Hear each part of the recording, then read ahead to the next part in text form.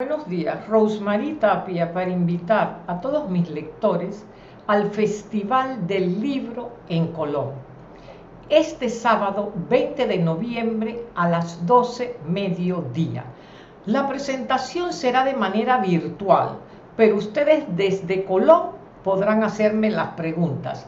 Si quieren participar de manera virtual, a través de mi celular 6980-7972, me piden ID y contraseña. Vamos a pasar una tarde muy divertida porque les voy a hablar de la burbuja invisible. Muchas gracias.